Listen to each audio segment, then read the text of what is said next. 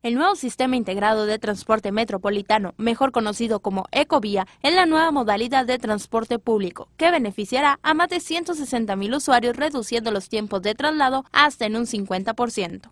El sistema de transporte Ecovía cuenta con 30 kilómetros de carriles exclusivos a lo largo de las avenidas Lincoln y Ruiz Cortines. Cuenta además con 41 estaciones que atraviesan los municipios de Guadalupe, Monterrey y parte de García.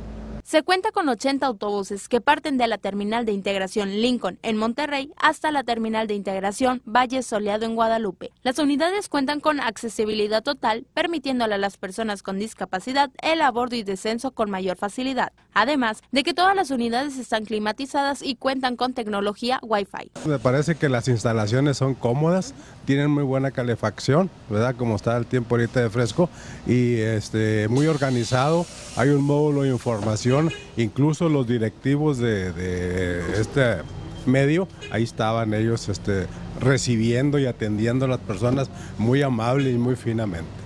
Las tarifas ascienden a 7 pesos para estudiante y 11 para usuarios tarifarios. Actualmente no se cuenta con venta de tarjetas ni recarga de las mismas en las estaciones de la Ecovía. Sin embargo, los usuarios las pueden adquirir en cualquier tienda de autoservicio. Asimismo, la tarjeta feria también es compatible con este sistema de pago. Por la tarjeta también te hacen un descuento, creo que es 11 pesos normal y 7 pesos eh, con la tarjeta. Este sistema de transporte se entrelaza con dos estaciones del metro, que son Regina y Mitras, en las cuales los usuarios tienen derecho a abordar sin realizar doble pago.